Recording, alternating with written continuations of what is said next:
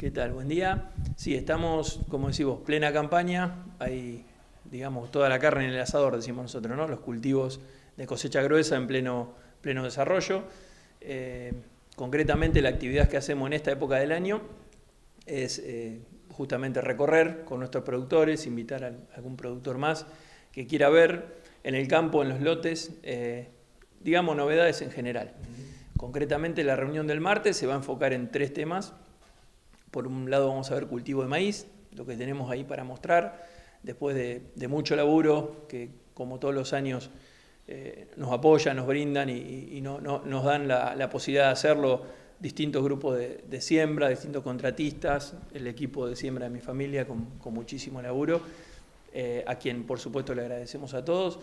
Vamos a ver concretamente ensayos comparativos de rendimiento de maíz, eh, siempre decimos maíces de alta producción, de alta tecnología, como lo hacemos acá, es decir, los mejores híbridos del mercado de las distintas marcas, puestos uno al lado de otro, con todo el paquete de fertilización para que los productores puedan ver, comparar. Y seguramente nos van a estar acompañando gente de las distintas empresas para sacar dudas de, que te pueda tener nuestros productores sobre, sobre esos materiales. En una segunda etapa vamos a estar recorriendo ya cultivos de soja. Eh, concretamente nos interesa que nuestros productores vean, el que no lo pudo hacer, eh, todo lo que es referido a las nuevas biotecnologías que es Intacta RR2. Tenemos en nuestra zona, también de vuelta por, el gran esfuerzo que hacen todos nuestros productores, los que asesoramos, eh, con, un gran esfuerzo y con una gran, eh, una gran digamos, atención hacia nosotros, nos dan la posibilidad de, mostrar y de, hacer todo esto. vamos a ver por lo menos seis variedades intactas RR2 de los grupos de madurez que hacemos en nuestra zona, eh, de distintos semilleros también. Y no, no, son ensayos en este caso, sino que vamos a ver lotes de producción entero, con lo que es también novedad como para que nuestros productores puedan recorrer y, mirar eso. Y vamos a estar contando un poquito sobre costos y sobre el manejo de esos lotes, que están realmente muy lindos y, nos interesa que los productores vean. Y por último, un tema que no es menor y preocupación ya de, te diría, hace más de un año para todos, es todo lo que es el manejo de malezas difícil o de, difícil control. Está siendo una problemática, como venimos contando, muy, muy seria en nuestra zona. Eh, nosotros desde la consultora, con nuestros colegas y hacia nuestros productores, hemos dado lógicamente una serie de recomendaciones por allá en pre-campaña o al inicio de la campaña. Vamos a estar viendo en el campo qué resultados vemos cuáles son todos los aciertos que hemos tenido, cuáles son los ajustes que debemos hacer a una, hacia una nueva campaña sobre una problemática muy pero muy difícil que está, como digo, ya instalada en nuestra región. Bueno, todo esto para el martes, entonces, a partir de las ocho y media, se van a juntar en el Poli de Norte y ahí va a comenzar la recorrida. Así es, este año tenemos la, particularidad de ser justamente una recorrida, como vos decís.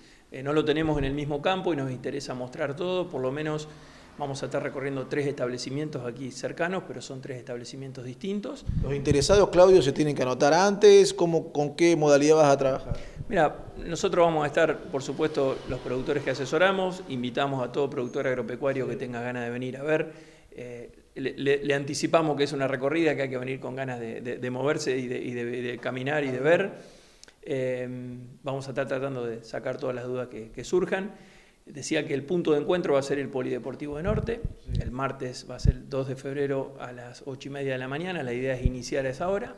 Vamos a hacer la, recorrida, como te contaba, por estos tres establecimientos para encontrarnos finalmente sobre el mediodía en el mismo, mismo lugar, en el Polideportivo, donde vamos a, brindar un almuerzo a todos los, que han participado de la jornada. Eh, ¿Cómo, ¿Cómo notás el ánimo de los productores en tu contacto que tenés a diario con, ellos, teniendo en cuenta las medidas que se tomaron en estos últimos 20, 25 días? Bueno, sin duda es un ánimo mejor al que venía, no hay dudas. Se han tomado medidas muy correctas, muy necesarias y que estábamos de alguna manera asfixiados, eh, el sector estaba asfixiado esperando ese tipo de medidas. Lo que queremos de alguna manera advertir y contar también en este tipo de reuniones es que bueno, los números hoy son mejores, pero no es que el, nuestro sector hoy está en una situación de que, digamos, puede darse el lujo de hacer cualquier cosa y hay excedente para hacer cualquier cosa. No es así. El escenario de precios internacionales, si bien sigue en niveles, digamos, aceptables, no es el que fue eh, en, los últimos 5, 6 o 7 años.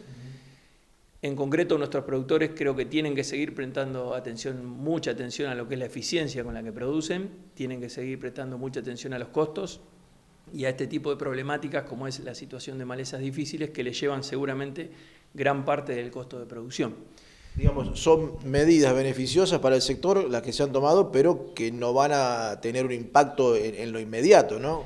Sin duda, yo digo que en el, digamos, la secuencia que se me ocurre que es la, que se va a dar es lo que estaba diciendo. Hoy el, sector recupera valor en su producción. Esa producción va a venir recién en la cosecha. Para eso falta todavía unos meses. Estamos en un mes todavía de febrero donde se define el rendimiento del cultivo más importante que tenemos, que es, el, soja. Em, eh, lo, que va a pasar es, digamos, definir el rendimiento, el productor va obviamente a, realizar su cosecha y su recolección, va a pagar cuentas, porque sin duda, decir, más del 90% de los productores han tomado algún tipo de, préstamo, deuda, o sea por tarjeta, sea por financiación de insumos con cooperativas y acopios y otras formas. Eh, y recién si, es, si hay un excedente, y ojalá que lo haya, es el que se va a volcar al resto de los sectores. Es como venimos diciendo, esto va a llevar tiempo. Se tomaron las medidas que el sector necesitaba y, creo que es el camino. Ahora, falta mucho para que eso, o faltan varios meses para que eso se traslade concretamente a un, a un ritmo que es el que deseamos todos para, para una gran región como la nuestra.